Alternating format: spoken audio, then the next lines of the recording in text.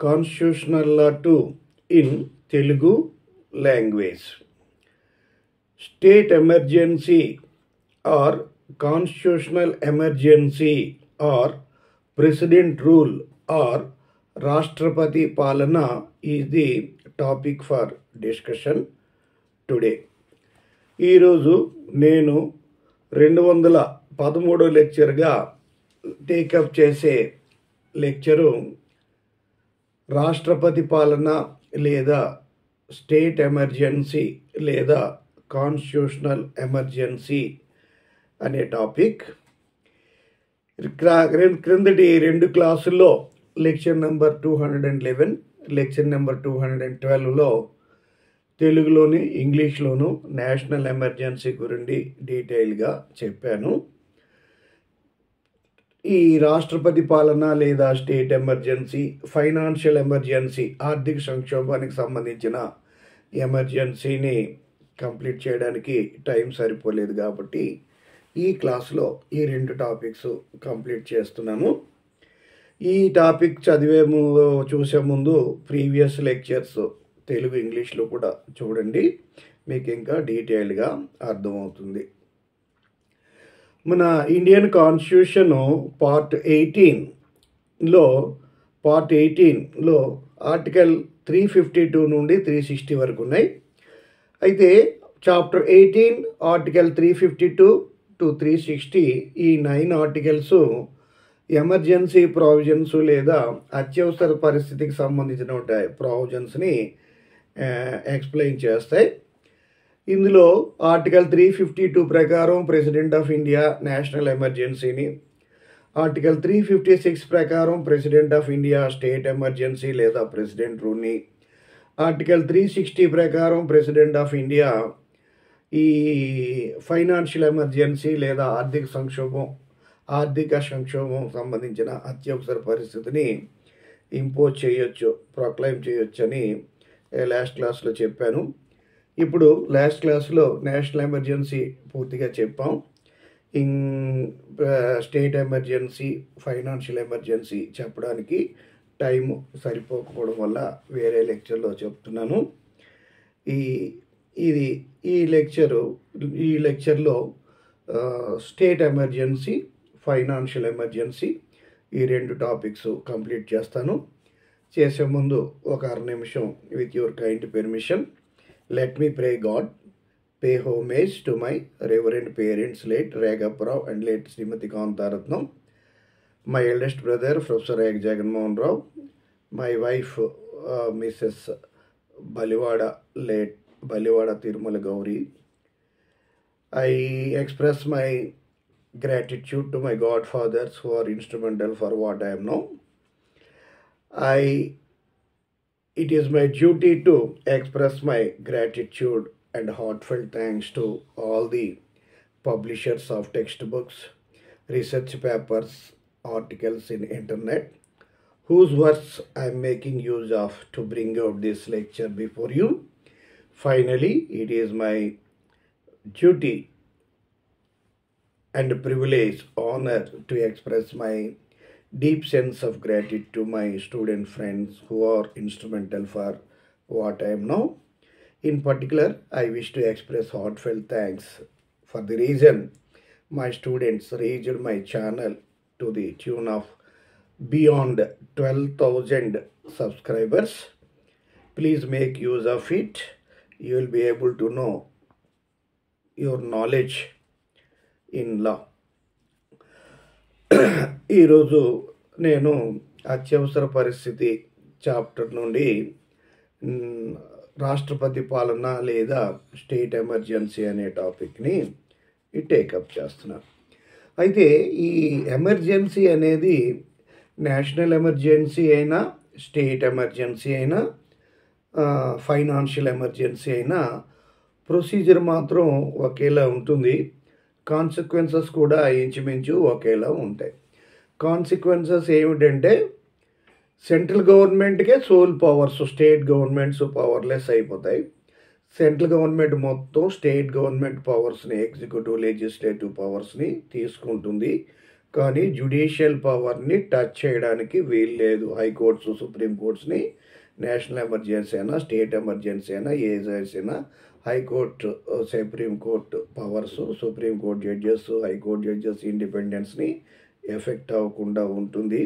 మరి గుర్తించాలి that is the greatness of our legal education ఒక high court judge supreme court judge state government executive legislative యాక్షన్స్ని central government stay central government executive legislative యాక్షన్స్ని struck down చేసి పక్కన పెట్టేయచ్చు కానీ కానీ ఈ ఎవరు ఎవరు కూడా ఈ హైకోర్టు జడ్జెస్ని సుప్రీంకోర్టు జడ్జెస్ని టచ్ చేయడానికి లేదు.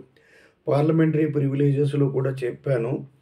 పార్లమెంట్లో కానీ స్టేట్ స్టేట్ లెజిస్లేచర్స్లో కానీ Lok Sabha Rajya Sabha legislative assembly legislative council వీటిలో ఆ నాలుగు గోడల మధ్య సెషన్స్ టైంలో ఎంత గొప్పవాడినైనా క్రిటిసైజ్ చేయొచ్చు కడుపు మంటతో తిట్టుకోవచ్చు. అయినప్పటికీ కూడా ఆ ఎఫెక్టెడ్ వ్యక్తి డిఫమేటరీ స్టేట్మెంట్స్ పలికినటువంటి వ్యక్తి మీద డిఫమేటరీ కేసు ఇంకా సివిల్ క్రిమినల్ కేసెస్ వేయకూడదు. వాళ్ళు even president even prime minister supreme even prime ministers even prime ministers chief ministers ఎమ్మెల్యేలు ఎంపీలని ఎవరినైనా పెద్ద పెద్ద వాళ్ళని ఈ విధంగా క్రిటిసైజ్ చేసిన ఏ కేసు లేదు కానీ వాళ్ళు ఒక జడ్జెస్ హైకోర్టు జడ్జెస్ గురించి కానీ సుప్రీంకోర్టు జడ్జెస్ గురించి కానీ వాళ్ళ యొక్క కాండక్ట్ గురించి కానీ క్యారెక్టర్ గురించి కానీ ప్రస్తావించకూడదు. అటువంటి అద్భుతమైన ఉన్నతమైన ఉత్కృష్టమైన ప్రెస్టీజియస్ పొజిషన్ మన లా మెంబర్స్కి ఇచ్చారు. కనుక మన లీగల్ ఎడ్యుకేషన్ ఎంత గొప్పదో లీగల్ ఎడ్యుకేషన్లో పెద్ద పెద్ద పొజిషన్స్ టేకప్ చేసే వాళ్ళకి ఎంత గౌరవం దక్కిందో మీరు ఒకసారి గుర్తు తెచ్చుకొని మన లీగల్ ఎడ్యుకేషన్కి ఉన్నటువంటి స్టేటస్ని అప్లిఫ్ట్ చేయాలి అనేటువంటి మినిమం రెస్పాన్సిబిలిటీ తీసుకొని రెగ్యులర్గా క్లాసులకు వెళ్ళడం సబ్జెక్ట్ నేర్చుకోవడం పద్ధతిగా లీగల్ ప్రొఫెషన్ చేయడం పద్ధతిగా మెరిట్లో జడ్జెస్ అయ్యి మంచి జడ్జిమెంట్స్ కృష్ణాయర్ లాంటి వాటి గొప్ప గొప్ప మహానుభావులు లాంటి జడ్జిమెంట్స్ ఇవ్వడానికి కృషి చేయాలంటే బేసిక్గా మీకు legal language legal subject law సబ్జెక్ట్స్లో అన్ని సబ్జెక్ట్స్లో కూడా మంచి నాలెడ్జ్ అవసరం. నాలెడ్జ్ కావాలంటే క్లాసులకు వెళ్ళాలి రెగ్యులర్గా చదవాలి అన్నీ చేయాలి. అయితే ఈ ఇప్పుడు రాష్ట్రపతి పాలన లేదా స్టేట్ ఎమర్జెన్సీ అనే టాపిక్ని మనం చెప్పుకుంటున్నాం. కాన్స్టిట్యూషన్ చాప్టర్ ఎయిటీన్లో మూడు వందల యాభై రెండు నుండి మూడు వందల అరవై వరకు తొమ్మిది ఆర్టికల్స్ ఉన్నాయి.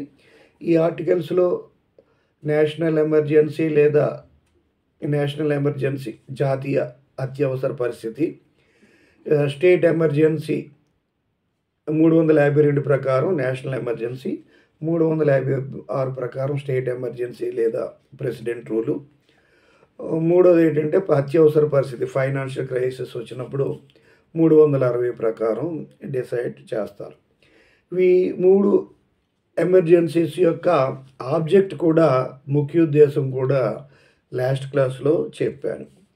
అయితే ఈ మూడు మూడు వందల కాన్స్టిట్యూషన్లో త్రీ ఫిఫ్టీ టూ డిజైన్ చేసి నేషనల్ ఎమర్జెన్సీ పెట్టడానికి కారణం ఏంటంటే ఇండియా పాకిస్తాన్ విడిపోయినప్పుడు మనకి కొన్ని క్రైసెస్ వచ్చాయి. క్యాస్టిజం మీద రీజనలిజం కమ్యూనిజం అటువంటి సమయంలో ఏర్పడేటువంటి ప్రమాదాలని ఇమినెంట్ డేంజర్ నేషనల్ ఎక్స్టర్నల్ థ్రెట్స్ని బయట నుండి వచ్చేటువంటి తిరుగుబాటు బెదిరింపుల్ని వాటిని అరికట్టడానికి అనుగుణంగా ఈ నేషనల్ ఎమర్జెన్సీని అప్పటి కాన్స్టిట్యూషన్ మేకర్స్ ఇంపు పొందుపరగా కాన్స్టిట్యూషన్లో పెట్టారని లాస్ట్ క్లాస్లో చెప్పాను. అదేవిధంగా రెండు వందల మూడు వందల యాభై ఆరు ప్రకారం రాష్ట్రపతి పాలన లేదా ప్రెసిడెంట్ రూల్ రాష్ట్రపతి పాలన లేదా ప్రెసిడెంట్ రూల్ లేదా స్టేట్ ఎమర్జెన్సీని పెట్టడానికి కారణం ఏంటంటే మన ఇండియన్ కాన్స్టిట్యూషను మనకి వచ్చినప్పుడు we the people of India having resolve to constitute India into sovereign socialist democratic republic అన్నారు. సోషలిస్ట్ అంటే ఏంటంటే అంతా సోషలిస్టిక్ ప్యాటర్న్ ఆఫ్ సొసైటీని తీసుకొస్తాం. అంటే ఇప్పుడు ప్రొడక్షన్ ఆఫ్ గుడ్స్ కమ్యూనిటీస్ అన్నీ కూడా గవర్నమెంట్ టేకప్ చేస్తుంది. దానివల్ల ప్రో గూడ్స్ అండ్ కమ్యూడిటీస్ చాలా ఈజీగా రీజనబుల్ రేట్స్లో దొరుకుతాయని చెప్తాం ఫర్ ఎగ్జాంపుల్ చూడండి ఇప్పుడు ఈ socialism in in implement socialistic uh, pattern వల్ల అంటే ఇప్పుడు గవర్నమెంట్ ఆర్గనైజేషన్ గవర్నమెంట్ పోస్ట్ ఆఫీసులు కానీ గవర్నమెంట్ ట్రాన్స్పోర్ట్ కానీ గవర్నమెంట్ ఇప్పుడు గవర్నమెంట్ ట్రాన్స్పోర్ట్లో ఫేర్ తక్కువగా ఉంటుంది. గవర్నమెంట్ పోస్టర్లో ఫే ఫీజు తక్కువగా ఉంటుంది. అదే కొరియర్ అయితే ఒక కవర్కి స్పీడ్ పోస్ట్ చేయాలంటే యాభై రూపాయలు అవుతుంది. అదే మనకి కొరియర్ అయితే uh, రెండు వందల వరకు తీసుకుంటున్నారు. అది ట్రైన్లో టికెట్ చాలా చీప్గా ఉంటుంది. అదే బయట ట్రావెల్స్ ద్వారా కానీ స్లీపర్ ఏసీ స్లీపర్ అలాంటివి తీసుకుంటే చాలా కాస్ట్లీగా ఉంటుంది. కాబట్టి ఈ సోషలిస్ట్ దీనివల్ల ఏమైపోయిందంటే కమ్యూనిస్టులు ఎక్కువైపోయి తెలంగాణలో స్కాటర్ అవడం ఈ కమ్యూనిస్టిక్ యాక్టివిటీస్ ఎక్కువైపోయి ప్రాబ్లమ్స్ వస్తే వీటిని అణగదొక్కడానికి ఈజీగా వీటిని కంట్రోల్ చేయడానికి అనుగుణంగా అప్పుడు constitution makers article three fifty సిక్స్ని design చేసి ఇండియన్ కాన్స్టిట్యూషన్లో ఏర్పరిచి ఈ నేష్ స్టేట్ ఎమర్జెన్సీ లేదా రాష్ట్రపతి పాలన లేదా ప్రెసిడెంట్ రూల్ అనే దాన్ని పెట్టారు. అదేవిధంగా doctor B R Ambedkar garu the father of constitution ఏంటంటే drafting committee chairman and father of constitution B R Ambedkar garu ఇప్పుడు మన Indian currency and gold reserves foreign currencies వాటితో సమతుల్యంగా ఉండడానికి హార్మనైజ్ అవ్వడానికి అనుగుణంగా ఫైనాన్షియల్ క్రైసిస్ వచ్చినప్పుడు మన ఇండియన్ రూపీ వాల్యూ పడిపోకూడదు ఇంటర్నేషనల్ మార్కెట్లో యుఎస్ డాలర్కి వాటి మిగతా యుఎక్ఏ పౌండ్ అటువంటి ఫారిన్ కరెన్సీస్కి ఈ ఈక్విలిబ్రియంని తట్టుకునే విధంగా ఉండ మెయింటైన్ అయ్యేటట్టుగా ఉండాలనే ఉద్దేశంతో ఈ ఫైనాన్షియల్ ఎమర్జెన్సీని డిజైన్ చేసి ఆర్టికల్ త్రీ సిక్స్టీలో ఇన్కార్పొరేట్ చేసి ఇండియన్ కాన్స్టిట్యూషన్లో పొందుపరచడం జరిగింది. ఇలాగా ఈ మూడు కారణాల వల్ల ఈ మూడు రకాల ఎమర్జెన్సీస్ డిజైన్ చేశారు. ఆర్టికల్స్లో three fifty two three fifty six and three sixty respectively చేశారు. ఈ తొమ్మిది ఆర్టికల్స్ ఏమేమి చెప్తున్నాయి అనే విషయం కూడా లాస్ట్ క్లాస్లో నేషనల్ ఎమర్జెన్సీలో చెప్పాను. ఈ హిస్టారిక్ ఈ బ్యాక్గ్రౌండ్ తర్వాత ఈ ఈ ఆబ్జెక్ట్స్ నేషనల్ ఎమర్జెన్సీ ఎన్నిసార్లు వచ్చింది ఈ ఎన్నిసార్లు పెట్టి పెట్టారు. వాటికి సంబంధించి ఎమర్జెన్సీ వల్ల కాన్స్ కాన్సిక్వెన్సెస్ అవి కూడా చెప్పాను లాస్ట్ క్లాస్లో నేషనల్ ఎమర్జెన్సీ గురించి. ఇప్పుడు రాష్ట్రపతి పాలన అంటే ఎలా విధిస్తారు? ఈ రాష్ట్రపతి పాలన ప్రొసీజర్ ఏమిటి ఈ రాష్ట్రపతి పాలన కాన్సిక్వెన్సెస్ ఏమిటి? మన ఇండియాలో రాష్ట్రపతి పాలన ఎక్కడెక్కడ ఎన్నిసార్లు విధించారు? వీటిని సుప్రీంకోర్టు హై కోర్టులో ఏ విధంగా ఛాలెంజ్ చేశారు? కోర్టు యొక్క గైడ్ లైన్స్ ఏ విధంగా ఉన్నాయి? సర్కారియా కమిషను ఇప్పుడు ఎప్ప- ఎందుకు అపాయింట్ చేశారు? సర్కారియా కమిషను ఎటువంటి గైడ్ లైన్స్ ఇచ్చింది? ఆ గైడ్ లైన్స్ని సుప్రీంకోర్టు ఎస్ఆర్ బొమ్మాయి కేసులో ఏ విధంగా అప్రూవ్ చేసింది? డీడీ బాస్ వాటిని సిచ్యుయేషన్ ఎట్లా ఎన్లైటన్ చేశాడు? అనే విషయాన్ని మనం ఇప్పుడు తెలుసుకుంటాం తెలుసుకుంటాం. అయితే ఇక్కడ నేషనల్ ఎమర్జెన్సీలో మూడు గ్రౌండ్స్ చెప్పాను మీకు. ఒకటి ఏంటంటే వారు external aggression armed rebellion grounds మీద.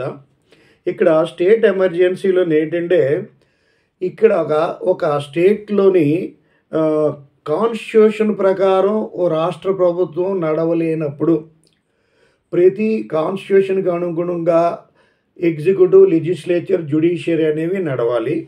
పార్లమెంటు కానీ జ్యుడిషియరీ కానీ స్టేట్ గవర్నమెంట్స్ కానీ స్టేట్ గవర్నమెంట్ ఎగ్జిక్యూటివ్ పవర్స్ కానీ లెజిస్లేటివ్ పవర్స్ కానీ అదే సెంట్రల్ ఎగ్జిక్యూటివ్ లెజిస్లేటివ్ పవర్స్ కానీ జ్యుడిషియరీ కానీ అన్నీ కూడా కాన్స్టిట్యూషన్లో ఉన్నటువంటి ప్రావిజన్స్కి అనుగుణంగా జరగాలి. ఏ కాన్స్టిట్యూషన్లో ఒక ప్రావిజన్ని ఫుల్గా కానీ పార్ట్లీ కానీ వైలేట్ చేస్తే ఇన్ఫ్రింజ్ చేస్తే అది ఇట్ ఈస్ రికగ్నై అది కాన్స్టిట్యూషన్కి ఇన్కన్ ఇన్కన్సిస్టెంట్గా తీసుకొని అది unconstitutional it is not valid void అని చెప్పడం జరుగుతుంది. ఆ విధంగా ప్రెసిడెంట్ ఆఫ్ ఇండియాకి గవర్నరు ఇచ్చే రిపోర్టు ద్వారా ఆ రాష్ట్రంలో కాన్స్టిట్యూషనల్ మిషనరీ ఫెయిల్ అయింది. అంటే కాన్స్టిట్యూషన్స్లో ఉన్న ఇండియన్ కాన్స్టిట్యూషన్లో ఉన్న ప్రావిజన్స్ ప్రకారం అక్కడ గవర్నమెంట్ నడవడం లేదు. కాన్స్టిట్యూషనల్ ప్రావిజన్స్ని ఉల్లంఘించారు. ఉల్లంఘించారు. గవర్నమెంటల్ మిషనరీ ఫెయిల్ అయ్యింది.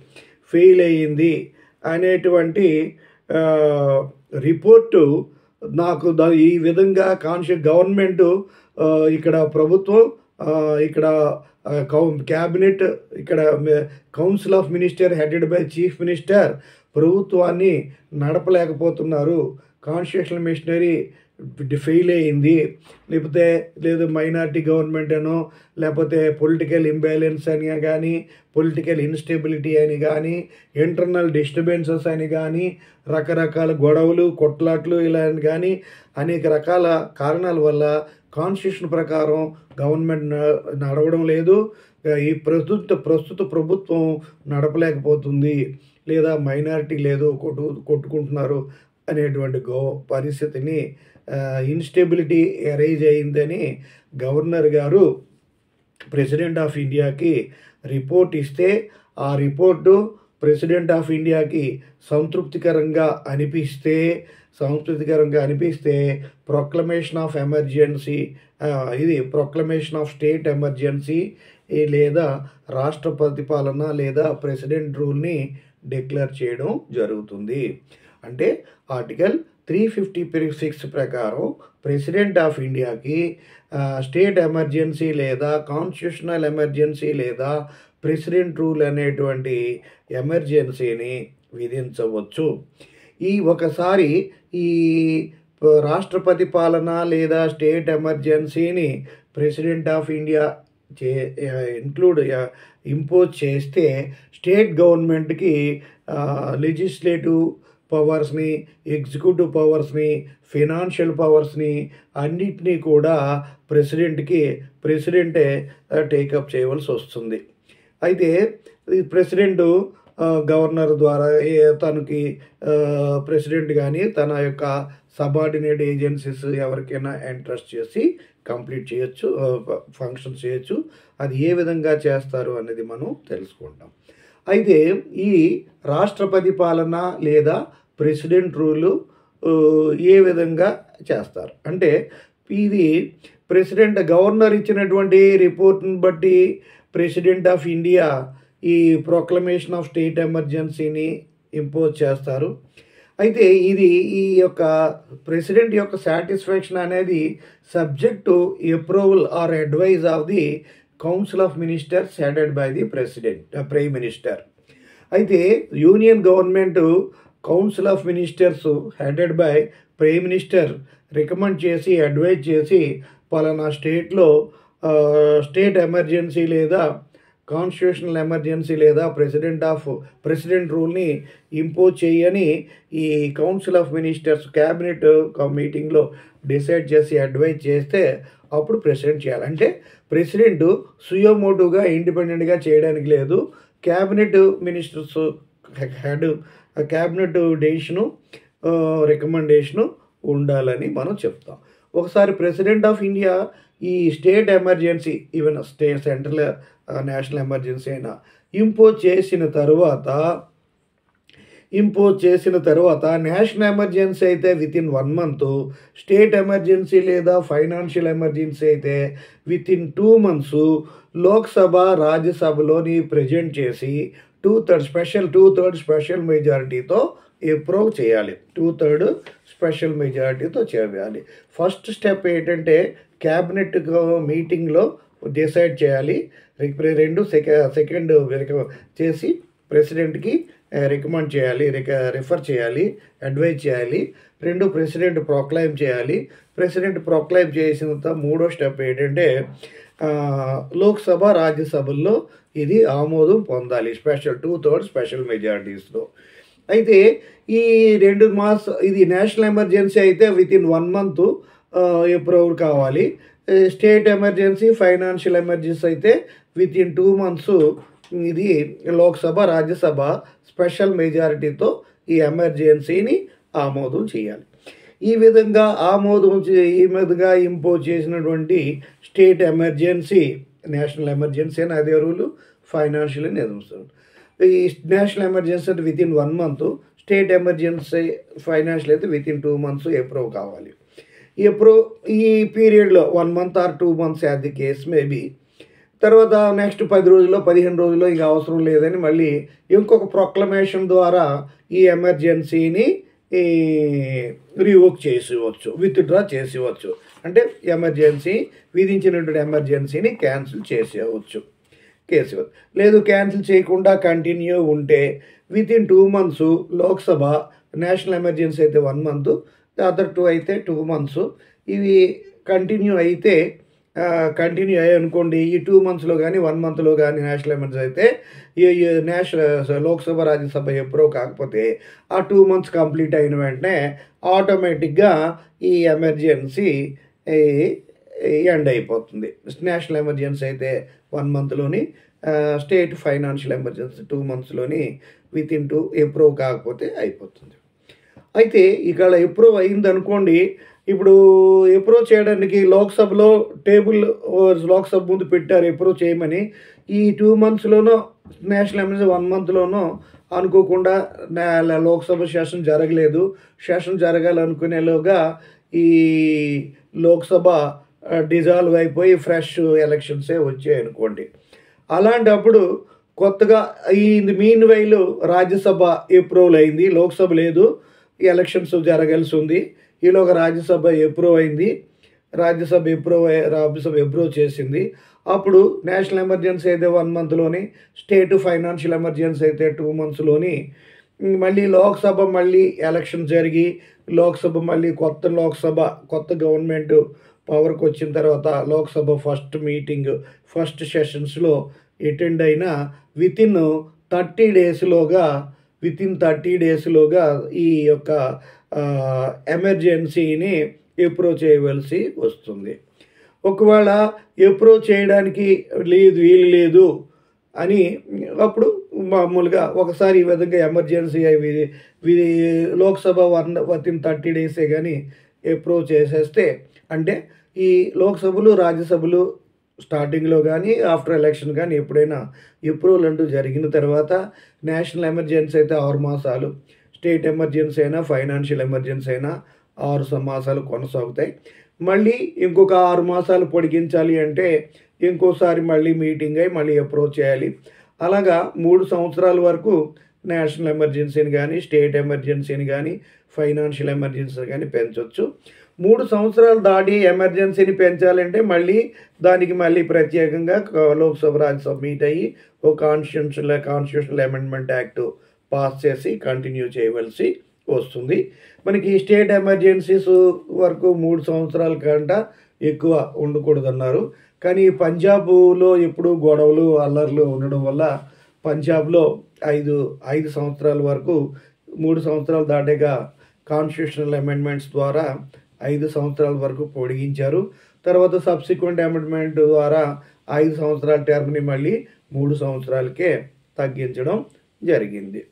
అయితే ఇక్కడ ఈ ఎమర్జె స్టేట్ ఎమర్జెన్సీ చే విధించడానికి మెయిన్ కారణాలు ఏంటంటే రాష్ట్ర ప్రభుత్వం కాన్స్టిట్యూషన్కి అనుగుణంగా నడవటం లేదు. కాన్స్టిట్యూషనల్ మిషనరీ దెబ్బ తిన్నది. కాన్స్టిట్యూషన్ ఫెయిల్ అయింది. అక్కడ అవి ఏది ఇక్కడ ప్రభు ప్రభుత్వ ప్రభు ప్రభుత్వం గవర్నమెంట్ని నడపడం లేదు. అంత కలహాలు ఇంటర్నల్ డిస్టర్బెన్స్లు ఎక్కువగా ఉన్నాయి. అనే విషయాన్ని గవర్నర్ గారు ప్రెసిడెంట్ గారికి రిపోర్ట్ ఇస్తే ఆ రిపోర్టు ప్రెసిడెంట్ గారికి సంతృప్తంగా కనిపించి ఎమర్జెన్సీ విధించవచ్చని క్యాబినెట్ సెంట్రల్ క్యాబినెటే కానీ అడ్వైజ్ చేస్తే అది చేయొచ్చు. తర్వాత అది అప్రూవ్ కావాల్సి ఉంది. National emergency one month state ఇవైతే రెండు మాసాలు ఉంటుంది. అయితే ఇక్కడ ఈ ఈ ఎమర్జెన్సీ ఈ మాకు వద్దు అనుకున్నప్పుడు నేషనల్ ఎమర్జెన్సీలో చెప్పాను. ఇది రాజ్యసభ ఎప్రూవ్ అయింది లోక్సభలో ఎప్రూవ్ లోక్సభ స్టార్టింగ్లోనే లోక్సభకు వచ్చింది ఎప్రూవ్ కాలేదు. లేదా రాజ్యసభకు వచ్చింది రాజ్యసభ ఎప్రూవ్ అయింది తర్వాత ఎక్స్ ఎక్సబ్ సిట్టింగ్ అని కదా. అప్పుడు ఈ ఇది ఎమర్జీ ఇది క్యాబినెట్ కౌన్సిల్ రికమెండ్ చేసి ప్రెసిడెంట్ ఆఫ్ ఇండియా ఇంపోజ్ చేసిన ఎమర్జెన్సీ మాకు వద్దు అని లోక్సభలో డిసప్రూవ్ చేయాలి అనేటువంటి మోషన్ మూవ్ చేయాలి అంటే one third of the Lok Sabha members దాన్ని రిప్రజెంట్ చేయాలి రిప్రజెంటేషన్ ఇవ్వాలి. ప్రెసిడెంట్ ఆఫ్ ఇండియా లోక్సభ సెషన్స్లో ఉంటే స్పీకర్కి ఇవ్వాలి లోక్సభ స్పీ సెషన్స్లో లేకపోతే ప్రెసిడెంట్ ఆఫ్ ఇండియాకి ఇవ్వాలి. ఈ విధంగా లోక్సభకు కానీ స్పీకర్కి కానీ ప్రెసిడెంట్ ఆఫ్ ఇండియాకి కానీ ఈ రిప్రజెంటేషన్ ఇచ్చి ఈ ఎమర్జెన్సీని విధించడానికి వీల్లేదు. అది నేషనల్ ఎమర్జెన్సీ కావచ్చు స్టేట్ ఎమర్జెన్సీ కావచ్చు. అది విధించడానికి వీలు కాకపోతే కుదరదు అంటుంటే వారిని విత్ ఇన్ ఫోర్టీన్ డేస్ పద్నాలుగు రోజుల్లోగా లోక్సభని ఈ సెషన్స్ని కండక్ట్ చేసి ఆ సెషన్స్లో డిసైడ్ చేయాలి. డిసైడ్ చేస్తే అప్పుడు డిసై టూ థర్డ్ మెజారిటీ లేకపోతే డిజప్రూవ్ చేస్తారు. లేదంటే మెజారిటీ ఉంటే కంటిన్యూ చేస్తారు. ఈ ప్రొవిజన్ కూడా నేషనల్ ఎమర్జెన్సీలో చెప్పాను. ఈ ఈ విధంగా ఇచ్చినటువంటి ఈ ఎమర్జెన్సీ ఉంటుంది. దాన్ని వెంటనే తీసేయచ్చు. లేదంటే మూడేళ్ళు మ్యాక్సిమం సిక్స్ మంత్స్ ఈ విషయాలుగా ఇస్తే రాష్ట్ర ప్రభుత్వం ఉంటుంది. ఈ ఎమర్జెన్సీ వల్ల వచ్చేటువంటి కాన్సిక్వెన్స్ ఏమిటి? ఈ నేషనల్ ఎమర్జెన్సీ పెట్టడం వల్ల కాన్సిక్వెన్సీ ఏమిటి? అది ఇక్కడ ఈ నేషనల్ ఎమర్జెన్సీ సారీ ఈ స్టేట్ ఎమర్జెన్సీ లేదా రాష్ట్రపతి పాలన అనేది అనేక సందర్భాల్లో మన ఇండియాలో జనతా గవర్నమెంట్ టైంలోను కాంగ్రెస్ గవర్నమెంట్ టైంలోను లాంగ్ బ్యాక్ ఇంపోజ్ చేశారు. ఈ స్టేట్ గవర్నమెంట్ నేషనల్ ఎమర్జెన్సీలో చెప్పాను ఎన్నిసార్లు మూడు సార్లు ఏం చేశారు ఏమిటైనా చెప్పాను. ఇప్పుడు రాష్ట్రపతి పాలన లేదా ప్రెసిడెంట్ రూలు మన ఇండియాలో ఏ ఏ రాష్ట్రాల్లో ఎన్నిసార్లు ఇంపోజ్ చేశారు దానికి సంబంధించినటువంటి రూల్స్ సర్కారియా కమిషన్ అంటే ఏంటి S R Bommai case supreme court decision ఏంటి గైడ్లైన్స్ ఏమిటి ఈ విషయాలు మనం ఇప్పుడు తెలుసుకోవాలి. అంటే ఇక్కడ ఈ రాష్ట్రపతి పాలన లేదా స్టేట్ ఎమర్జెన్సీని ఇంపోజ్ చేయడానికి కాన్స్టిట్యూషనల్ మిషనరీ ఫెయిల్ అయ్యింది అని గవర్నర్ గారు తను సాటిస్ఫాక్షన్లో తృప్తిపడి ఈ ఎమర్జెన్సీని డిక్లేర్ చేస్తున్నారు రాష్ట్రపతి పాలనని. అయితే ఈ కాన్స్టిట్యూషనల్ మిషనరీ ఫెయిల్యూర్ అంటే ఏమిటి ఫెయిల్యూర్ అంటే కాన్స్టిట్యూషనల్ మిషనరీ ఏంటి?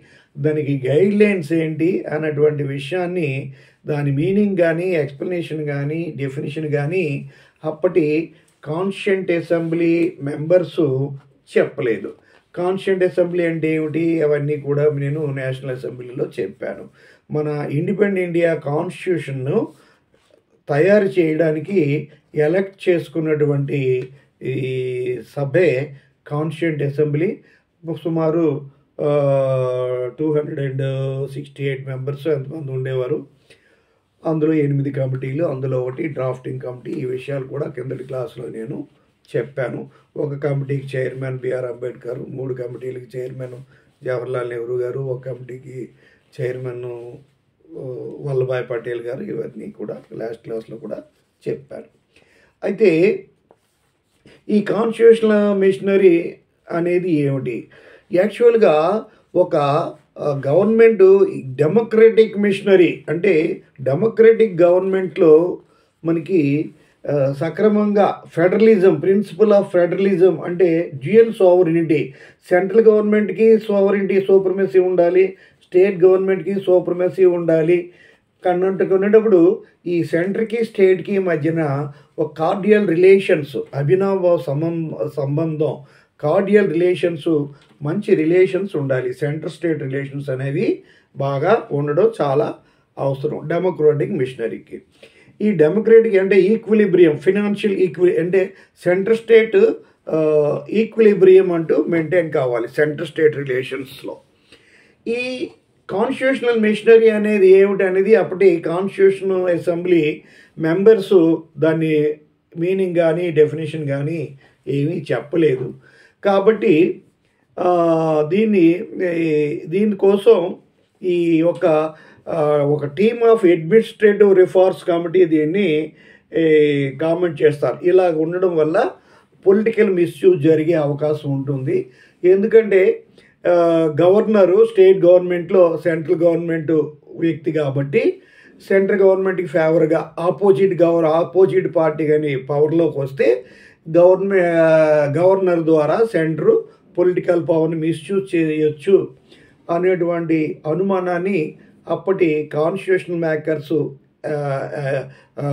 ఎమర్జెన్సీ వల్ల కొన్ని ప్రాబ్లమ్స్ ఉంటాయని అప్పటి కాన్స్టిట్యూంట్ అసెంబ్లీలో కొంతమంది ఎక్స్పర్ట్స్ కూడా చెప్పారు. అదేవిధంగా ఈ ఒక team of administrative reforms committee కూడా ఎక్స్ప్లే ఎక్స్ప్రెస్ చేయడం జరిగింది. దీ దీ దీనివల్ల అప్పుడు పార్లమెంటు యూనియన్ మినిస్టర్ ద్వారా సర్కారియా కమిషన్ అనేటువంటి కమిషన్ని సర్కారియా కమిషన్ అనేటువంటి కమిషన్ని చేస్తారు. సర్కారియా సర్కారియా కమిషన్ అనేది ఒక కమిషన్ని అపాయింట్ చేయడం జరిగింది. ఈ కమిషను ముఖ్య ఉద్దేశం ఏంటంటే వీలైన అన్ని విషయాల్ని కూలత్మషంగా పరిశీలించి ఈ కాన్స్టిట్యూషనేషనల్ మిషనరీ అంటే ఏమిటి? కాన్స్టిట్యూషనల్ ఈక్విలేబ్రియం సెంటర్కి స్టేట్ మధ్య ఏ విధంగా ఉండాలి అనే ఉద్దేశంతో కొన్ని కొన్ని గైడ్లైన్స్ ఈ సర్కారియా కమిషన్లో ఇవ్వడం జరిగింది.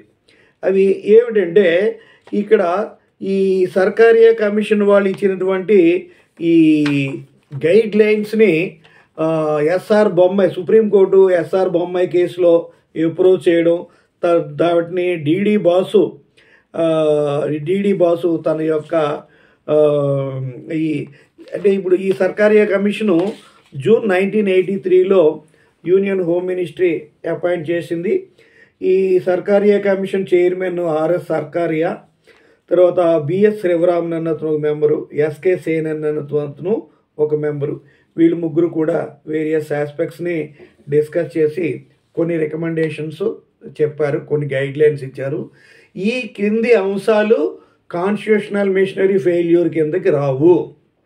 కానికులు అని చెప్పారు. ఆ ఇచ్చినటువంటి గైడ్ లైన్స్ని గై రికమెండేషన్స్ని supreme court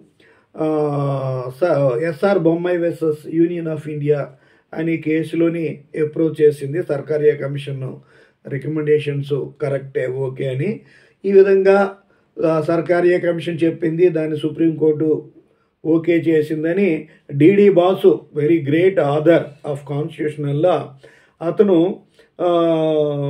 తన యొక్క బుక్లో డిడి బాసు తన constitution of India twenty eighth edition twenty eighth ఎడిషన్లో తను పూర్తిగా ఈ ఈ చెప్పారు. ఏంటంటే ఒక గవర్నమెంట్ సెంటర్లో ఒక పవర్ వచ్చి సెంటర్లో ఒక గవర్నమెంట్ ఒక పార్టీ స్టే స్టేట్ గవర్నమెంట్ ఒక పార్టీ వచ్చిందని లోక్సభలో కొత్తగా కొత్త గవర్నమెంట్ వచ్చింది అనుకోండి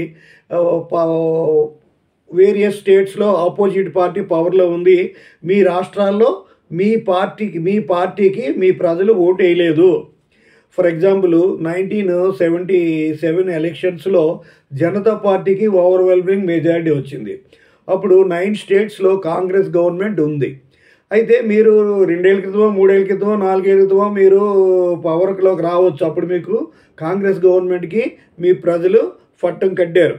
ఇప్పుడు జనతా గవర్నమెంట్ పెట్టే పట్టం కట్టారు.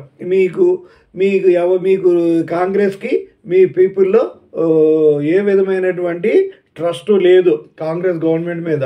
కాబట్టి మీరందరూ రిజైన్ చేసేసి అసెంబ్లీ డిజాల్వ్ చేసి కొత్తగా ఎలక్షన్స్కి రండి అనే కాన్సెప్ట్ మీద జనతా గవర్నమెంట్ తొమ్మిది రాష్ట్రాలలో ప్రెసిడెంట్ రూల్ ఇంపోజ్ చేయడం తర్వాత మళ్ళీ మూడేళ్ళ తర్వాత కాంగ్రెస్ గవర్నమెంట్ మళ్ళీ వస్తే Congress I government Mrs Gandhi. అటువంటి యాక్షన్నే మళ్ళీ రివర్స్ పార్టీలో వీళ్ళు చేయడం ఇలా జరిగాయి. అలాగనే అందువల్ల సర్కారియా కమిషన్ ముందు ఏం చెప్తారంటే పొలిటికల్ గ్రౌండ్స్ మీద ఆపోజిట్ పార్టీ పవర్లో స్టేట్ గవర్నమెంట్కి రైవల్ పార్టీ సెంటర్లో పవర్కి వస్తే opposite opposite rival party state గవర్నమెంట్స్ని ఈ కాన్స్టిట్యూషనల్ మినిస్ట్రీ ఫెయిల్ అయిందని అనడానికి వీల్లేదు రెండు. అయితే ఈ కాన్స్టిట్యూషను స్టేట్ గవర్నమెంట్స్ యొక్క ని ప్రొటెక్ట్ చేయవలసినటువంటి ఇంటర్నల్ డిస్టర్బెన్స్ ఏమైనా స్టేట్ గవర్నమెంట్లో జరిగితే గొడవలు అల్లర్లు అటువంటివి ఏమైనా జరిగితే parliament it is the duty of the parliament to provide necessary protection. కాబట్టి ఇప్పుడు స్టేట్లో ఏమైనా గొడవలు అల్లర్లు అయితే సెంటర్ నుండి సిఆర్పి సెంట్రల్ రిజర్వ్ పోలీసులంతా వచ్చి సిచ్యుయేషన్ కంట్రోల్ చేస్తాయి. అంటే స్టేట్స్ని ఏవైనా కష్టాల్లో ఉంటే వాటిని ప్రొటెక్ట్ చేయవలసినటువంటి పరిస్థితి బాధ్యత యూనియన్ గవర్నమెంట్కి ఉంటుంది. అది చేయాలి. అదొకటి. రెండు స్టేట్ గవర్నమెంట్లో కరప్షన్ ఉంది. కరప్షన్ ఉంది. ఆ కరప్షన్ని చాలా అది కరప్షన్ ఎక్కువగా ఉంది. Ministers corrupt chief minister corrupt అది ఇది గ్రౌండ్ మీద అక్కడ కాన్స్టిట్యూషనల్ మిషనరీ ఫెయిల్ అయింది అనడానికి వీల్లేదు అదే కొన్ని సందర్భాల్లో అబ్సల్యూట్ మెజారిటీ రాకుండా స్టేట్ గవర్నమెంట్స్ ఫార్మ్ అయితే రెండేసి మూడేసి పార్టీలు కలిసి ఒక పార్టీగా హంగ్గా హంగ్గా హంగ్ గవర్నమెంట్ అనమాట నాలుగైదు పార్టీలు మద్దతు తీసుకొని పవర్లోకి రావడం. కొన్నాళ్ళ క్రితం కర్ణాటకలోని కొన్నాళ్ళకి ఈ మధ్య మహారాష్ట్రలోని పార్టీ ఫుల్ ఏ పార్టీ కూడా ఫుల్ మెజారిటీ రాకపోవడం వల్ల కొన్ని వేరే పార్టీలు వాళ్ళకి సహకారం తీసుకొని రావడం కొన్నాళ్ళు ఒకరు సీఎం ఉంటే ఇంకోసారి కొన్నాళ్ళు సీఎం అవడం ఇలాగ అలాగ అటు ఇటు ఇటు ఇటు ఈ మధ్య జోరప్ప కుమారస్వామి అక్కడ కర్ణాటకలాగా ఇక్కడ మన మహారాష్ట్ర ఇలాగ అనేక సందర్భాల్లో పొలిటికల్ ఇంబ్యాలెన్స్ ఉండేటప్పుడు అది ఉందని దాని కాన్స్టిట్యూషన్ మిషనరీ ఫెయిల్ అయిందనడానికి వీలు లేదు. ఒక పార్టీ రూలింగ్ పార్టీ మెజారిటీని ప్రూవ్ చేయలేకపోతే ఆల్టర్నేటివ్గా వేరే పార్టీకి అవకాశం ఇవ్వాలి. వేరే పార్టీకి అవకాశం ఇవ్వకుండా ఇన్స్టెబిలిటీ అని ప్రెసిడెంట్ రూల్ పెట్టడానికి ఎమర్జెన్సీ విధించడానికి వీలు లేదు. ఇదొకటి. ఇక్కడ నేషనల్ ఎమర్జెన్సీ అయినా స్టేట్ ఎమర్జెన్సీ అయినా national emergency country as a whole or any part thereof కంట్రీలో ఎక్కడైనా డిస్టర్బెన్స్ అయినప్పుడు నేషనల్ ఎమర్జెన్సీ పెట్టచ్చు. అలాగే స్టేట్లో స్టేట్ యాజ్ ఎ హోల్ అయినా కావచ్చు ఒక పార్ట్ ఆఫ్ ది స్టేట్ అయినా ఈ ప్రెసిడెంట్ రూల్ని పెట్టచ్చు. పెట్టవచ్చు ఇలాగా మనం ఈ కాన్స్టిట్యూషనల్ ఈ సందర్భాలు కాన్స్టిట్యూషనల్ మిషనరీ ఫెయిల్ అయింది అనడానికి వీలు లేదు. తర్వాత స్టేట్ గవర్నమెంట్లో ఏమైనా తప్పులు ఏమైనా ఉంటే వాటిని సరిదిద్దుకోవడానికి అవకాశాలు ఇవ్వాలి. ఏదైనా మోరల్గా ఈ principles of morality natural justice equity వీటికి కాన్స్టిట్యూషనల్ ప్రావిజన్స్కి అనుగుణంగా సెంటర్ వ్యవహరించి ఇచ్చాలి కానీ కానీ రైవల్ పార్టీ అని చెప్పి ఆ పార్టీని కోల్చకూడదు. అయితే ఇక్కడ మనం ఇక మీకు ప్రాక్టికల్గా ఒక పాయింట్ తెలుసుకుంటాం. ఇప్పుడు ఏదైనా ఒక స్టేట్లో ఒక రూలింగ్ పార్టీ ఉందనుకోండి ఆ రూలింగ్ పార్టీని ప్రెసిడెంట్ రూల్ ద్వారా లేదా స్టేట్ ఎమర్జెన్సీ ద్వారా ఆ గవర్నమెంట్ని పడగొడితే సెంటరు ఈ ఆపోజిట్ పార్టీ వాళ్ళు వాళ్ళ పార్టీ ఎలక్షన్స్లో గెలిచి పవర్కి వచ్చిందనే అనే దానికంటే ఎక్కువ ఆనందిస్తారు. ఇప్పుడు పార్టీయే పొలిటికల్ పార్టీయే పవర్లో ఉంది స్టేట్ గవర్నమెంట్? పొలిటికల్ పార్టీ బి రైల రైవల్ పార్టీ పవర్లో లేదు. పొలిటికల్ బి పార్టీ పవర్లోకి వచ్చే కంటే ఆ ఏ పార్టీ పవర్ నుండి దిగిపోతే ఎక్కువ ఎంజాయ్ చేయడం మనం ప్రాక్టికల్గా చూస్తాం. ఈ విధంగా ఈ సర్కారియా కమిషన్లో చెప్పినవి బొ- బొమ్మాయి కేసులో ఎస్ఆర్ బొమ్మాయి కేసులో వీళ్ళు సుప్రీంకోర్టు అప్రూవ్ అవ్వడం దాన్ని డీడు బాస్ గారు చెప్పడం ఇవి కాన్స్టిట్యూషనల్ మెషినరీ ఫెయిల్యూర్ అనే దానికి చెప్పేస్తాం. తర్వాత వీళ్ళు ఏం చెప్పారంటే ఈ ఇవే అంశాలు ఏంటంటే mal maladministration by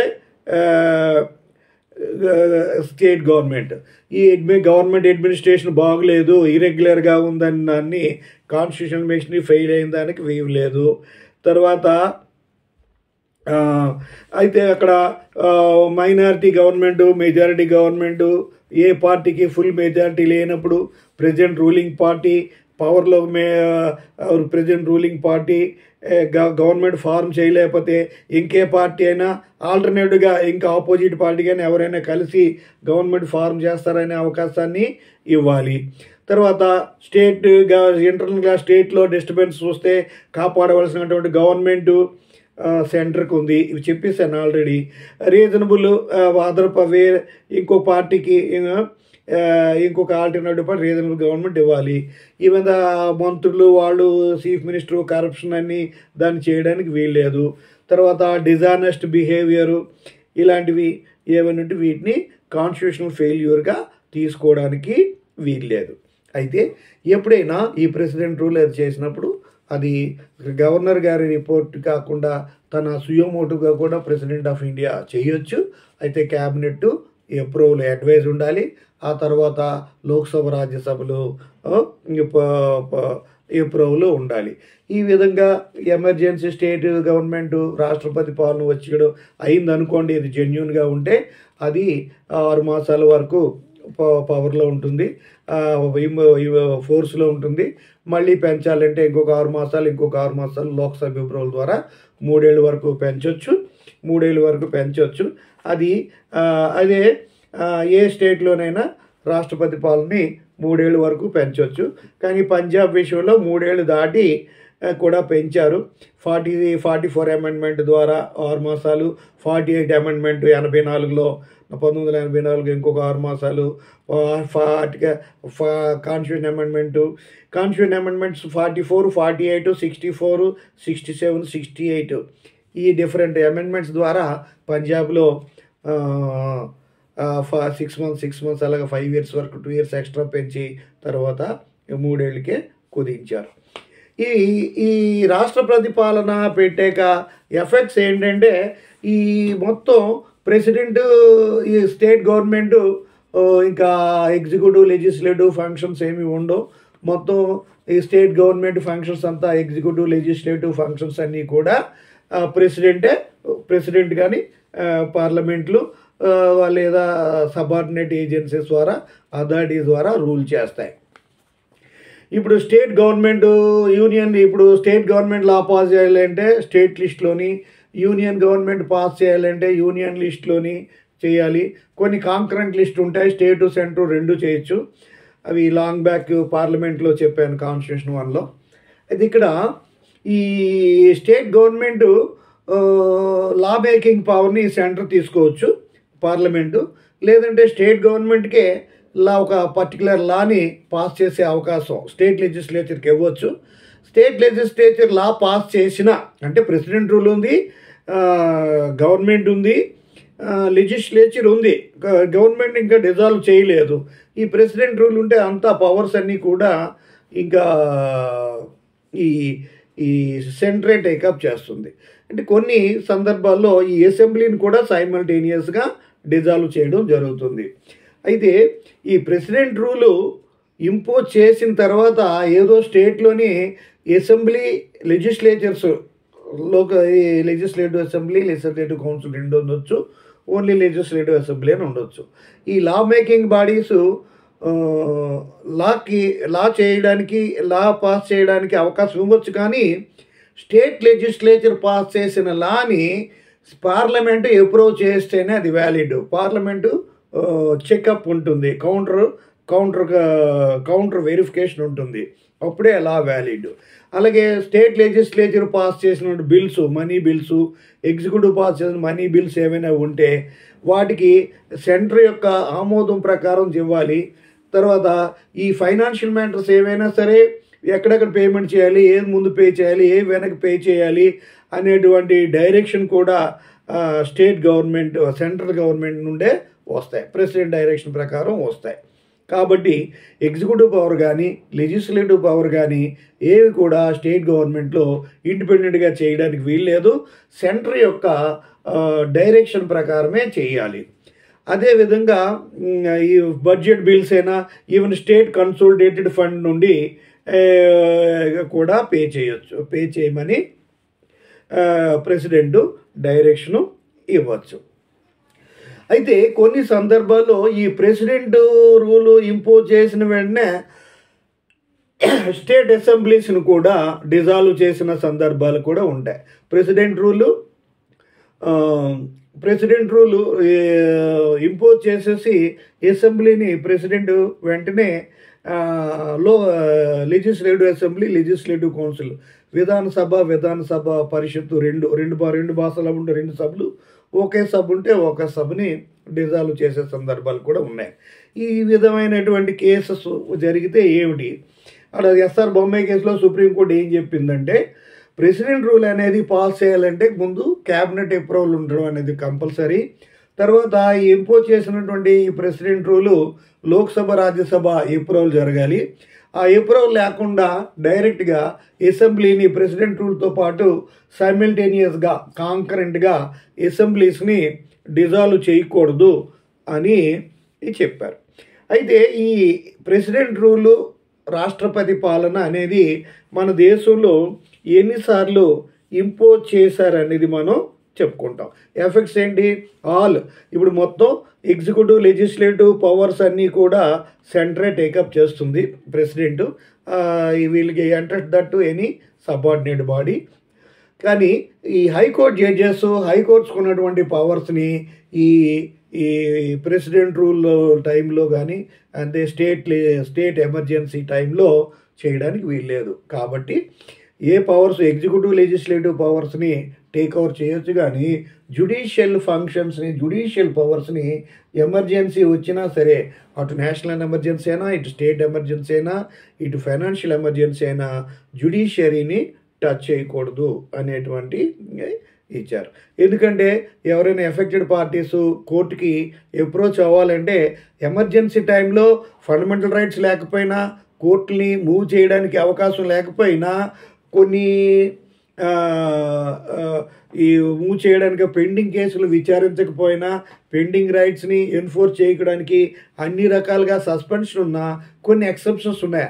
Article twenty twenty one twenty two article fourteen ఇలాగా ప్రొక్లమేషన్లో ఎక్సెప్షన్స్ ఏమైనా ఉంటే వాటిని డిసైడ్ చేయడానికి హైకోర్టులు సుప్రీంకోర్టులు అవసరం కనుక ఉంటుంది. అయితే ఎస్ఆర్ బొమ్మాయి కేసులో వీళ్ళు కోర్టు సుప్రీంకోర్టు ఏం చెప్పిందంటే నైన్ మెజారిటీ యునానిమస్ చేసినాం. ఈ ఇరెగ్యులర్ జ్యుడిషియల్ రివ్యూ ఉండాలి ఉండాలి.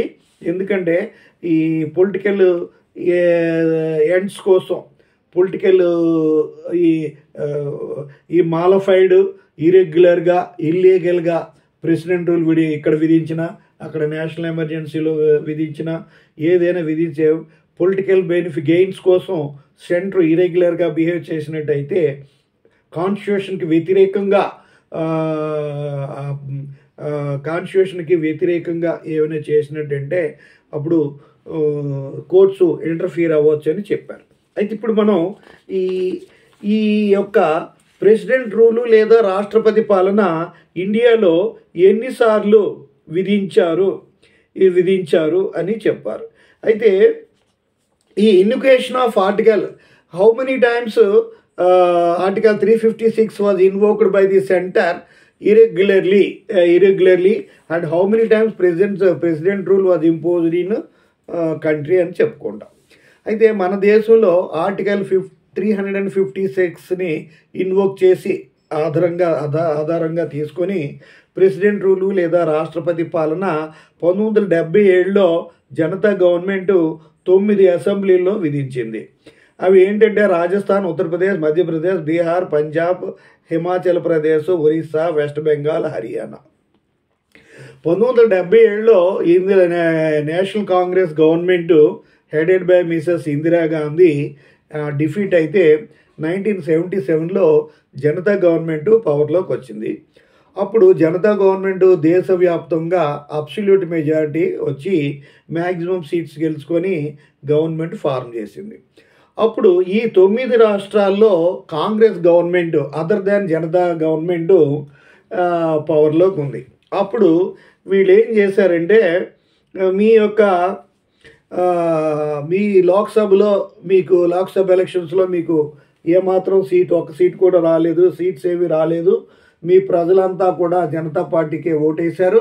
అయితే మిమ్మల్ని కాదనుకొని వేరే పార్టీ జనతా పార్టీకి ఓటేశారు కాబట్టి ఆ ఆ- ప్రజల యొక్క మద్దతుతో మీరు ఎన్నికైన మీరు ఇంకా ఏమాత్రం కూడా మీరు ప- పవర్లో కొనసాగడానికి వీలు లేదు కొనసాగడానికి వీలు లేదు అని వీళ్ళు వీళ్ళ హోమ్ మినిస్టర్ వాళ్ళకి ఆ చీఫ్ మినిస్టర్లకి లెటర్లు రాసి మీరు అసెంబ్లీని డిజాల్వ్ చేయాలి అని వాళ్ళు చెప్పడం జరిగింది.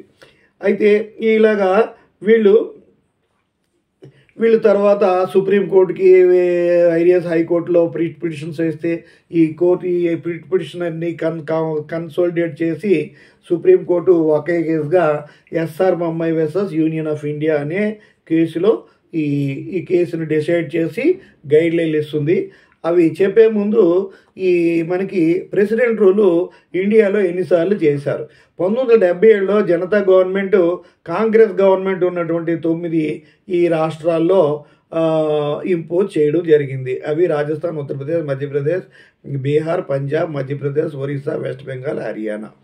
తర్వాత మూడేళ్ళు జనతా గవర్నమెంట్ పవర్లో ఉండిన తర్వాత మళ్ళీ పంతొమ్మిది వందల ఎనభైలో తొంభై పంతొమ్మిది వందల ఎనభైలో మళ్ళీ అప్పటి ఇందిన డిఫీట్ అయిపోయిన ఇందిరా గాంధీ గారు మళ్ళీ కాంగ్రెస్ ఐ గవర్నమెంట్ అని ఈ కాంగ్రెస్ ఇందిరా అనే గవర్నమెంట్ హస్తం గుర్తుతోటి ఆవిడ మళ్ళీ పార్టీ ఫామ్ చేసి మళ్ళీ ప్రజలంతా కూడా ఈ మూడేళ్ళలో కూడా జనతా గవర్నమెంట్ అనేక సార్లు అప్ అండ్ డౌన్ ఫేస్ చేయడం ఇన్స్టెబిలిటీ పొలిటికల్ ఫేస్ చేయడం దాన్ని మిసెస్ గాంధీ అంతా కంట్రీ వైడ్గా ట్రావెల్ చేసి ప్రజల యొక్క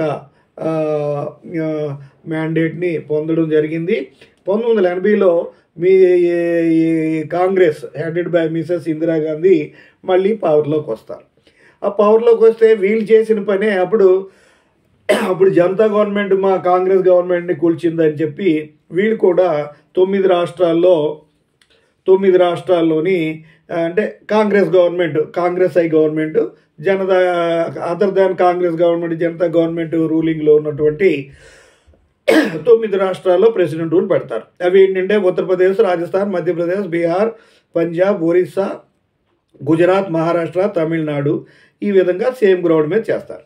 మళ్ళీ పంతొమ్మిది వందల ఎనభై మూడులో పంజాబ్లోను పంతొమ్మిది వందల ఎనభై ఆరులో జమ్మూ కాశ్మీరు పంతొమ్మిది వందల ఎనభై ఎనిమిదిలో తమిళనాడు పంతొమ్మిది వందల తొంభై రెండులో నాగాల్యాండ్ ఉత్తరప్రదేశ్ పంతొమ్మిది వందల తొంభై మూడులో మధ్యప్రదేశ్ హిమాచల్ ప్రదేశ్ రాజస్థాను పంతొమ్మిది వందల తొంభై ఐదు తొంభై ఆరు తొంభై ఎనిమిదిలో బీ ఉత్తరప్రదేశ్ మళ్ళీ తొమ్మిది పంతొమ్మిది వందల తొంభై తొమ్మిదిలో బీహారు. ఈ విధంగా ప్రెసిడెంట్ ఆఫ్ ఇది ప్రెసిడెంట్ రూల్ని పెట్టడం జరిగింది.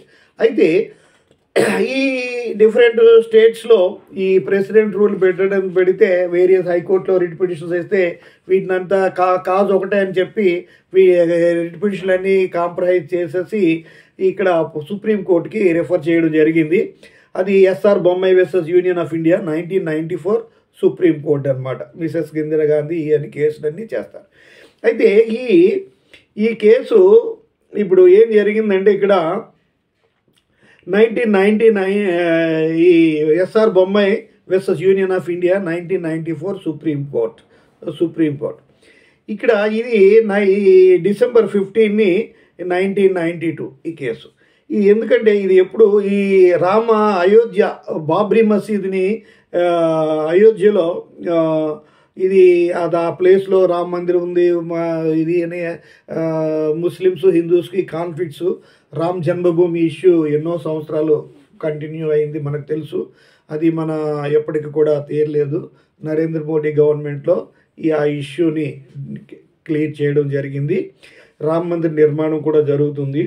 అయితే ఇక్కడ ఏమైందంటే ఈ నైన్ అసెంబ్లీస్లు చేసినప్పుడు supreme court by supreme court ఈ సుప్రీంకోర్టు ఏ- ఎంపీ హైకోర్టు ఏం చెప్పిందంటే ఇక్కడ ఈ ఈ మూడు మూడు అసెంబ్లీస్లో ఎం- ఎంపీ హైకోర్టు ఈ అన్కాన్స్టిట్యూషనల్ చెప్తుంది దాన్ని సుప్రీంకోర్టుకి అప్పీల్ చేస్తే సుప్రీంకోర్టు ఈ ఏం చెప్తుందంటే నోనో మూడు మూడు అసెంబ్లీస్లో ఈ కాన్స్టిట్యూషనలే అన్కాన్స్టిట్యూషనల్ కాదు మిగతావి మాత్రం తర్వాత డిసైడ్ చేస్తామని చెప్తారు. అయితే ఆ, మూడు అసెంబ్లీస్ మధ్యప్రదేశ్ హిమాచల్ ప్రదేశ్ ఇంకా రాజస్థాన్ అనుకుంటా ఈ మూడు అసెంబ్లీస్ డిజల్యూషన్ కరెక్టే. మిగతాది మాత్రం కరెక్ట్ కాదు. వీటి సంగతి తర్వాత చూస్తాం అని అంటారు. ఇక్కడ ఏం జరిగిందంటే ఇక్కడ ఆ మూడు రాష్ట్రాల్లోని గవర్నమెంట్ గై యూనియన్ గైడ్ లైన్స్ ఏంటంటే స్టేట్స్ రిలీజియస్ ఆర్గనైజేషన్స్ తోటి ఏ విధమైనటువంటి కనెక్షన్స్ పెట్టుకోకూడదు ఆ, వెరుకకూడదు అని ఫార్టీ ఫార్టీ సెకండ్ అమెండ్మెంట్ అనుకుంటాను. ఈ లో ప్రియాంబుల్లో సెక్యులర్ అనేటువంటి టాపిక్ని యాడ్ చేస్తారు. ఏ యొక్క రాష్ట్ర ప్రభుత్వం కూడా ఇది India is a secular state అంటే ఏ no religion has state religion. స్టేట్లో ఇండియాలో అన్ని రిలిజియన్స్ ఒకటే. హిందూ కానీ ముస్లిం కానీ క్రిస్టియన్ కానీ జ్యూస్ కానీ ఏదైనా ఒకటే. ఇది నేషనల్ బర్డు పీకాక్ లాగా నేషనల్ యానిమల్ టైగర్ లాగా అలాంటివేవి నేషనల్ రిలిజియన్ అంటూ ఉండదు. కాబట్టి అన్ని రిలిజియన్స్ ఒకటే అన్ని రిలిజియన్స్కి ఈక్వల్ స్టేటస్ ఉందని చెప్పి అవర్ ఇండియన్ సెక్యులర్ స్టేట్ అని కాన్స్టిట్యూషన్ అమెండ్మెంట్ ద్వారా చెప్పారు. ఈ తర్వాత ఈ సెక్యులరిజం అన్ని కూడా బేసిక్ స్ట్రక్చర్లో కూడా ఇన్కార్పొరేట్ చేయడం జరిగింది.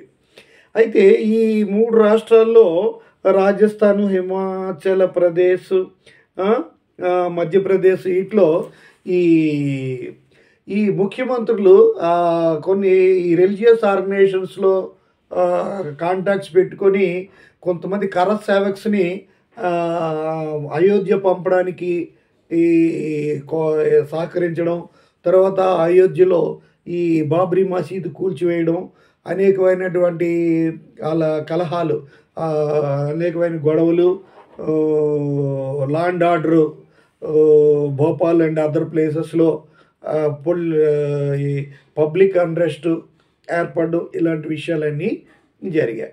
కాబట్టి ఈ స్టేట్ గవర్నమెంట్స్ రిలీజియస్ నార్మ్స్కి కాన్స్టిట్యూషనల్ డైరెక్షన్స్కి వ్యతిరేకంగా చేశాయి కాబట్టి ఆ మూడు రాష్ట్రాల్లో ప్రెసిడెంట్ రూల్ పెట్టడం రైటే. మిగతా రాష్ట్రాల్లో సంగతి తర్వాత తెలుస్తామని చెప్పారు. కానీ ఈ మధ్యలో టైం అయిపోవడం ఆ అసెంబ్లీస్ టైం అయిపోవడం తర్వాత ఈ జడ్జెస్ తొమ్మిది జడ్జెస్ అంతా కూడా డిసైడ్ చే ఈ ఈ మూడు రాష్ట్రాల్లో కూడా సెక్యులరిజంకి వ్యతిరేకంగా ఈ త్రీ స్టేట్స్లో చీఫ్ మినిస్టర్స్ రిలీజియన్స్ ఆర్గా ఆర్గనైజేషన్స్తో పొత్తు పెట్టుకొని కోఆపరేట్ చేసి కరసేవక్స్ని అయోధ్య పంపడం ఆ తర్వాత బాబ్రీ మసీదు కూల్చివేయడం దేశంలో గొడవలు జరగడం ఇవన్నీ ఉన్నాయి బట్టి అక్కడ ప్రెసిడెంట్ రూల్ పెట్టడం అనేది కాన్స్టిట్యూషనలే రీజనబులే మిగతా వాటిలో సంగతి మేము తర్వాత చూస్తాము అని చెప్పి ఇది రిజర్వ్ చేశారు మిగతా వాడి జడ్జిమెంటు అయితే ఆ తర్వాత ఆ జడ్జిమెంట్ వచ్చి ఈ చేసేలోగా అక్కడ టర్మ్ అయిపోయి అక్కడ మళ్ళీ ప్రెసిడెంట్ ఎలక్షన్ మళ్ళీ ఎలక్షన్స్ రావడం వచ్చాయి. అయితే ఎస్ఆర్ బొమ్మాయి కేసులో ఎస్ఆర్ బొమ్మాయి కేసులో సుప్రీంకోర్టు కొన్ని గైడ్ లైన్స్ ఇచ్చింది ప్రెసిడెంట్ రూల్కి ప్రెసిడెంట్ రూలు అనేది ఎప్పుడు కూడా ప్రెసిడెంట్ రూలు అసెంబ్లీని డిజాల్వ్ చేయడం అనేది ఒకేసారి డిజాల్వ్ చేయడానికి వీల్లేదు. ఫస్ట్ పాయింట్ ఇప్పుడు ఫస్ట్ స్టెప్ ఏంటంటే క్యాబినెట్ డెసిషన్ తీసుకొని ఏ ప్రెసిడెంట్కి అడ్వైజ్ చేయడం. ప్రెసిడెంట్ అడ్వైజ్ తీసుకున్నాక గవర్నర్ రిపోర్టు తీసుకొని గవర్నర్ రిపోర్ట్ అయినా లేకపోతే ప్రెసిడెంట్ సుయమౌంట్కి అయినా సరే ప్రెసిడెంట్ రూల్ చేయాలి. ఆ విధంగా విధించినటువంటి ప్రెసిడెంట్ రూలు రెండు మాసాలు అమల్లో ఉంటుంది. ఈ రెండు మాసాల్లోగా లోక్సభ రాజ్యసభ అప్రూవ్ అవ్వాలి. లోక్సభ సెషన్స్ లేకపోతే సెషన్స్కి వచ్చాక first sitting first sessions thirty డేస్లోగా approval అవ్వాలి. ఈ ప్రొసీజర్ ఫాలో అవ్వాలి. అది. తర్వాత ఇరెగ్యులర్గా కానీ మాలఫైడ్ కానీ మాలఫైడ్ అంటే ఏదో కడుపు రాజకీయంగా కడుపు మంటతోనో దురుద్దేశంతోటో పక్షపాతంతోటో ఏదైనా చేసినా కాన్స్టిట్యూషన్ వ్యతిరేకంగా కానీ ఈ యొక్క త్రీ ఆర్టికల్ త్రీ ఫిఫ్టీ సిక్స్ని కానీ ఉపయోగించినట్టయితే జుడిషియల్ రివ్యూ కోర్ట్స్ ఇంటర్ఫీర్ అయ్యి ఆ యొక్క ఎమర్జెన్సీని స్టేట్ ఎమర్జెన్సీని అన్కాన్స్టిట్యూషనల్ అని డిక్లేర్ చేయొచ్చు. ఒకటి ఏంటంటే ఇది ప్రెసిడెంట్ రూలు ఇది డిజల్యూషన్ ఆఫ్ అసెంబ్లీసు రెండు ఒకేసారి చేయకూడదు చేయకూడదు. తర్వాత అంటే ఇక వేరే opposite party political collapse centre ఎప్పుడు కూడా గ్రూప్ ఆఫ్ నాన్ కాంగ్రెస్ అంటే రైవల్ పార్టీ గవర్నమెంట్స్ని దురుద్దేశంతో ఎట్టి పరిస్థితుల్లో కూడా కొలాప్స్ చేయకూడదు కొలాప్స్ చేయకూడదు. ఆ విధంగా చేస్తే కోర్టు ఇంటర్ఫీర్ అవుతుంది ఇంటర్ఫీర్ అవుతుంది. ఆ విధంగా చేసినటువంటి మళ్ళీ అసెంబ్లీని రీస్టోరు రీస్టోర్ చేయమని కూడా అడగచ్చు అడగొచ్చు. అడగొచ్చు నెక్స్ట్ ఈ ఆల్రెడీ చెప్పాను పార్లమెంట్ అప్రూవల్ ఉండాలి పార్లమెంట్ అప్రూవల్ లేకపోతే ఈ లేకుండా అసెంబ్లీని డిజాల్వ్ చేయకూడదు. అసెంబ్లీని అసెంబ్లీ డిజల్యూషన్ ప్రెసిడెంట్ రూల్ ఒకసారి జరగకూడదు. అదేవిధంగా హైకోర్టు హైకోర్టు యొక్క పవర్స్ని హైకోర్టు జడ్జెస్ యొక్క పవర్స్లోకి ఎన్ఫ్రో ఎన్క్రో ఎంక్రోచ్ అవ్వకూడదు ఎంక్రోచ్ అవ్వకూడదు. ఈ ప్రెసిడెంట్కి ఈ ప్రెసిడెంట్ రూలు ఈ విధించేటువంటి పవరు కాన్స్టిట్యూషనల్ పవరే కానీ అబ్సల్యూట్ పవర్ కాదు. అంటే ప్రెసిడెంట్ తన ఇష్టం వచ్చినట్టుగా పవర్ని ఇంపోజ్ చే ప్రెసిడెంట్ రూల్ ఇంపోజ్ చేయకూడదు. కాన్స్టిట్యూషన్లో ఉన్నటువంటి ప్రావిజన్స్కి అనుబంధంగా in in coincidence with the provisions of constitution కాన్స్టిట్యూషన్కి లోబడి తన యొక్క ప్రెసిడెంట్ రూల్ని ఇంపోజ్ చేయొచ్చు కానీ తనకి ఇష్టం వచ్చినట్టుగా చేయడానికి వీల్లేదు అనేటువంటి గైడెన్స్ని ఈ బస్సార్ బొమ్మాయి కేసులో చెప్పడం జరిగింది. ఇది దీన్ని బట్టి కాన్స్టిట్యూషన్ మిషనరీ ఫెయిల్యూరు ఏ ఏ సందర్భాల్లో కాన్స్టిట్యూషన్ మిషనరీ ఫెయిల్యూర్ అనడానికి వీల్లేదు కూడా చెప్పారు. తర్వాత నెక్స్ట్ ఏంటంటే ఫైనాన్షియల్ ఎమర్జెన్సీ ఇది కంట్రీ లెవెల్లో కంట్రీ యాజ్ ఏ హోల్ కానీ ఎనీ పార్ట్ దేశం మొత్తం కానీ ఒక పార్ట్లో కానీ కన్ కన్ ఈ ఫైనాన్షియల్ ఇన్స్టెబిలిటీ ఫైనాన్షియల్ ఇంప్రెసిటీ ఆర్ ఫైనాన్షియల్ ఇమ్యూనిటీ లేదా threat to the credit of India in in any country in a country or any part of the whole first one national emergency country అంతకి సంబంధిస్తుంది. Number three financial emergency country అంతటికి సంబంధిస్తుంది. Number two state emergency ఒక state different స్టేట్స్కి సంబంధిస్తుంది. అటు national emergency అయినా state emergency అయినా country as a whole or any part thereof ఉంటుంది. ఇది కూడా స్టేట్ ఎమర్జెన్సీ లేదా president rule state as a whole or any part thereof అని ఉండొచ్చు. ఒక స్టేట్ డిఫరెంట్ స్టేట్స్కైనా చేయొచ్చు. ఈ విధంగా చెప్పాను. అయితే ఈ ఫైనాన్షియల్ ఎమర్జెన్సీ అనేది ఆర్టికల్ త్రీ సిక్స్టీ అనేది doctor B R Ambedkar doctor Bhimrao Ramji Ambedkar the father of constitution and the chairman of the drafting committee ఈ ఆర్టికల్ త్రీ సిక్స్టీని డిజైన్ చేసి కాన్స్టిట్యూషన్లో పొందుపరచడానికి కారణం ఏంటంటే ఫినాన్షియల్ ఈక్విలిబ్రియం అనేది మెయింటైన్ చేయాలన్నారు. Harmony between Indian currency and reserves with foreign currencies maintain చేయాలి. అలాగా మన Indian currency gold reserves foreign currencies వాటితోటి అనుగుణంగా ఉండాలి. అటువంటి సందర్భాలు ఏమైనా అయితే వాటిని ఎదుర్కోవడానికి అనుగుణంగా ఆర్టికల్ త్రీ సిక్స్టీని డిజైన్ చేసి డిజైన్ చేసి ఇండియన్ కాన్స్టిట్యూషన్లో పొందుపరిచినట్టుగా చెప్పారు. ఈ ఫైనాన్షియల్ ఎమర్జెన్సీ అనేది వచ్చినట్టయితే ఇప్పుడు ఇండియాలో ఏనాడు రాలేదు. నైన్టీన్ నైంటీ వన్లో ఈ ఫైనాన్షియల్ ఎమర్జెన్సీ ఫైనాన్షియల్ ఎమర్జెన్సీ వచ్చింది. సారీ వచ్చే పరిస్థితి వచ్చింది. ఫైనాన్షియల్ ఎమర్జెన్సీ ఇండియాలో ఏనాడు రాలేదు. నైన్టీన్ నైంటీ వన్లో ఫైనాన్షియల్ క్రైసిస్ వచ్చాయి. ఎందుకంటే మన ఇండియన్ కరెన్సీ ఫారిన్ కరెన్సీస్కో హార్మనైజ్ అయి ఉండాలి. ఎందుకంటే ఇండియన్ కరెన్సీ వాల్యూ బాగా పడిపోయింది అనుకోండి ఒకప్పుడు యుఎస్ డాలర్ ఎనిమిది రూపాయలు ఉండేది ఇప్పుడు ఎనభై రూపాయలు అరౌండ్ ఎయిటీ రూపీస్ ఉంది. ఇంకా ఏ వంద నూట యాభై పెరిగిపోయింది అనుకోండి ఇండియన్ కరెన్సీ పోయి ఫినాన్షియల్ ఇన్స్టెబిలిటీ ఏర్పడుతుంది. నైన్టీన్ నైంటీ వన్లో ఫైనాన్షియల్ ఇన్స్టెబిలిటీ క్రైసిస్ ఇండియాలో వచ్చింది. అప్పుడు గవ వరల్డ్ బ్యాంక్ కానీ ఐఎంఎఫ్ కానీ మనకి లోన్ ఇవ్వలేదు. అప్పుడు bank of India sorry bank of England తర్వాత union bank of Switzerland union bank Switzerland ద్వారా తీసుకొని ఫైనాన్షియల్ హెల్ప్ తీసుకొని అప్పటి సిచ్యుయేషన్ని తర్వాత కువైట్ వారు uh, అదర్ కైజర్స్లో అయినప్పటికీ ఏదో ఆల్టర్నేటివ్గా అరేంజ్మెంట్ చేసి మనం తట్టుకొని నిలదొక్కుకోగలిగాం. ఫైనాన్షియల్ ఎమర్జెన్సీ అయితే ఇండియాలో ఏనాడు uh, రాలేదు. మన కాన్స్టిట్యూషన్ వచ్చిన నుండి ఈ రోజు వరకు రాలేదు. నైంటీ వన్లో వచ్చే పరిస్థితులు వచ్చినా సరే uh, అప్పటి చే- ప్రైమ్ మినిస్టర్ చంద్రశేఖర్ చ- నేషనల్ ఫ్రంట్ గవర్నమెంట్ నుండి వచ్చారు. ఆ నైంటీ వన్లో కొంతకాలం పివి నరసింహరావు గారు తర్వాత పివి నరసింహరావు గారు తర్వాత చంద్రశేఖర్ గారు ఉన్నారు. అయితే చంద్రశేఖర్ టైంలో ఇది ప్రైమ్ మినిస్టర్ టైంలో వచ్చింది ఇది చేసుకున్నారు. ఈ ఫైనాన్షియల్ ఎమర్జెన్సీ కాన్సిక్వెన్సెస్ ప్రొసీజర్ కూడా అంతా మామూలు చెప్పాను నేషనల్ ఎమర్జెన్సీ ప్రొసీజర్. ఈ ఫైనాన్షియల్ ఎమర్జెన్సీ కాన్సిక్వెన్స్ అంటే మళ్ళీ ఒకవేళ కానీ ఇంపోజ్ అయినట్టయితే ఫైనాన్షియల్ క్రైసిస్ ఎనీ బిల్స్ ఏవైనా సరే ప్రెసిడెంట్ ఆఫ్ ఇండియా వీటిని కన్సోలిడేట్ ఫండ్ నుండి అడ్జస్ట్ చేయడం జరుగుతుంది.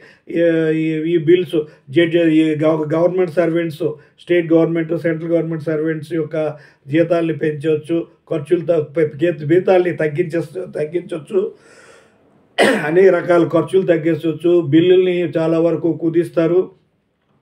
కుదిస్తారు. అదేవిధంగా ఈ విధంగా కట్ చేసినటువంటి జీతాల్ని తర్వాత ఇవ్వచ్చు రీఎంబర్స్ చేయొచ్చు రీఎంబర్స్ చేయకపోవచ్చు.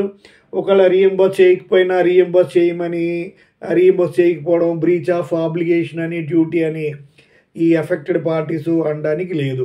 అయితే ఎమర్జెన్సీ టైంలో ఈ ఫైనాన్షియల్ ఎమర్జీ కానీ విధించినట్టయితే ఆ టైంలో state government civil servants state governments central governments servants జీతాలు తగ్గించవచ్చు జడ్జెస్ జీతాలు కూడా తగ్గించవచ్చు ఈ విషయంలో జడ్జెస్ జీతాల వరకు టచ్ అవ్వచ్చు. పవర్స్ టచ్ అవ్వకూడదు కానీ టచ్ అవ్వచ్చు. ఆ జీతాలు హైకోర్టు సుప్రీంకోర్టు జీతాలు తగ్గించిన తగ్గించవచ్చు తగ్గించిన తర్వాత ఈ హైకోర్టు సుప్రీంకోర్టు జీతాలు కన్సోలిడేటెడ్ స్టేట్ కన్ కన్సోలిడేటెడ్ ఫండ్స్ నుండి state consolidate fund central consolidate fund నుండి పే చేయడం జరుగుతుంది. ఈ రకం తీసుకు తగ్గించిన జీతాలు తర్వాత పే చేయొచ్చు. పే చేసినా పర్వా ఓకే. పే చేయలేకపోయినా సరే దాన్ని బ్రీచ్ ఆఫ్ డ్యూటీగా అడగడానికి హక్కుగా అడగడానికి మాత్రం లేదు. ఈ విధంగా ఆర్టికల్లో త్రీ సిక్స్టీలో మనం ఫైనాన్షియల్ ఎమర్జెన్సీ గురించి చెప్పుకుంటాం. అయితే ఇక్కడ మొత్తం ఈ ప్రొక్లమేషన్ ఆఫ్ ఎమర్జెన్సీ లేదా emergency provisions chapter eighteen article three fifty two to three sixty ఈ నైన్ ఆర్టికల్స్ గురించి ఈ రెండు లెక్చర్స్లో కూడా చెప్పాను. ఇది రెండు వందల పదమూడో లెక్చరు. నెక్స్ట్ లెక్చర్లో ఇంగ్లీష్లోకి నేను చేస్తాను. కాబట్టి మన లాని అద్భుతమైన గౌరవాన్ని పొందినటువంటి మన లీగల్ ఎడ్యుకేషన్ గౌరవించి చదువు మీద కాన్సన్ట్రేట్ చేయండి.